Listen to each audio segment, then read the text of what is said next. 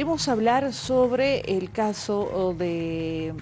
las denuncias del programa Yo Soy Mi Primer Amor. Recuerde usted que en días pasados, eh, de hecho, la diputada del Movimiento al Socialismo, Betty y también Valeria Silva, hablaban de una doble remuneración de por lo menos 14 funcionarios. ¿Qué es lo que ha señalado el Consejo Municipal a partir de esta denuncia y cuáles son las acciones que se van a asumir? Veamos el reporte lo que corresponde es que nosotros, una vez que ha sido de nuestro conocimiento la denuncia pública hecha eh, en los medios de comunicación,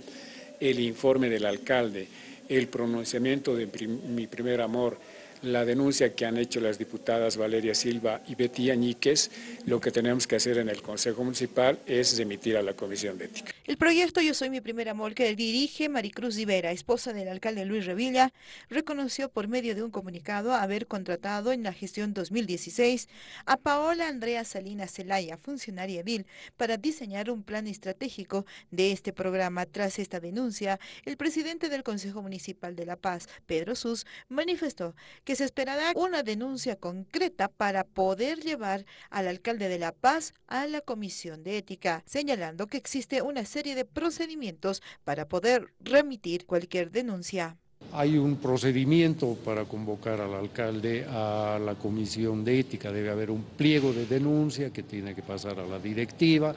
la directiva tiene que analizar si el pliego de denuncia eh, tiene todos los requisitos formales, luego se pasa al pleno para un auto de apertura de proceso,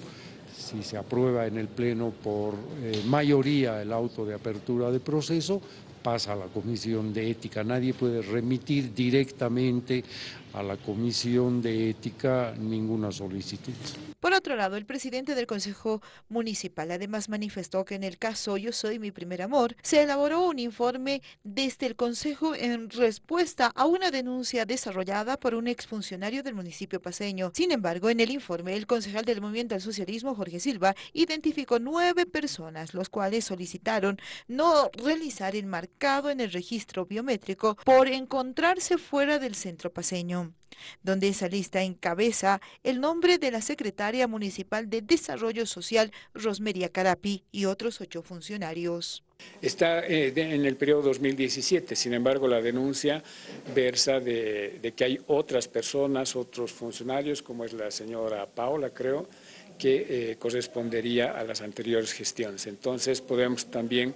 eh, apreciar de que ha habido diferentes funcionarios en las diferentes gestiones que han estado destinadas a apoyar el programa Mi Primer Amor. Recordemos que en la víspera, las legisladoras Valeria Silva y Betty Yaníquez denunciaron que Paola Salinas percibió doble ingreso salarial en el periodo 2016, que suma a los 7.758 bolivianos de la alcaldía y más de 8.000 del programa Yo Soy Mi Primer Amor, donde se niega que otros funcionarios ediles hayan trabajado para el proyecto de Riberalta. Alta.